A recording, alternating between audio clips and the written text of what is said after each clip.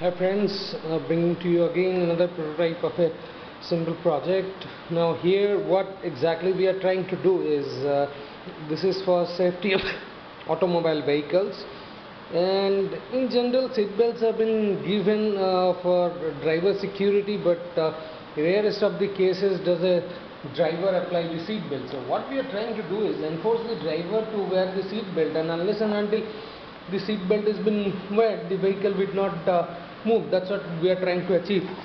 Here is my sample Arduino board that is uh, controlling the entire thing. It's a 12 volt battery. Uh, we have a three relay units two relay units to control sort of a caliber lock that we have provided with the uh, seat belt. Now the concept here is as soon as user pushes the seat belt over here the lock gets uh, open I mean the lock gets closed and the user can drive the vehicle. We are using a simple vehicle model which is uh, been driven by a simple geared motor. Now uh, unless and until a user uh, wears a seat belt it uh, should not allow the user to move the vehicle. In order to move move the vehicle we are using a simple touch switch over here with uh, Arduino. You can see this one here Arduino and we are using a simple key that uh, shorts to port of Arduino. Now let us see the demonstration that it works if you look closely at the board this is my uh, circuit. And first thing that I'm going to do is put my key soon as I put my key the ignition lock will get open. But I have not wear the seat belt. So what it does not allow me to do is it does not permit me to move the vehicle. You can see that I am still holding this but the vehicle is not moving. Now the user needs to put on the seat belt. So I'll take the seat belt.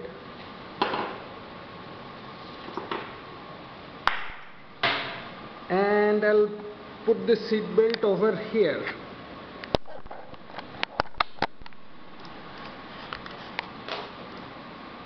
Soon as I put the seat belt you can see the lock automatically locks the seat belt so that user cannot push it and get it open so it is permanently locked. And as soon as the lock has been applied user can make the vehicle to move. So you can see and when user does not move the vehicle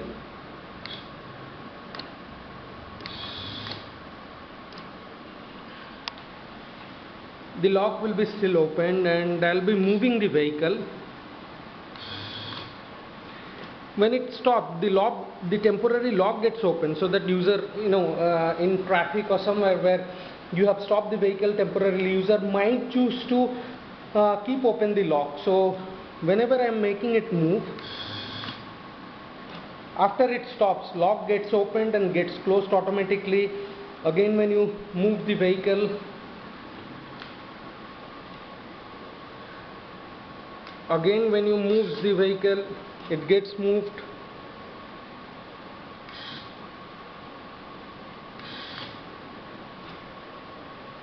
So this way it's been provided security. Now uh, once you take out the key from here I'll be taking out the key. Soon as I take out the key it gets opened directly. The lock gets open so that user can now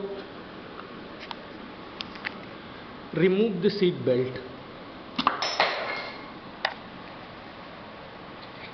Thanks for watching. Hope you enjoyed it.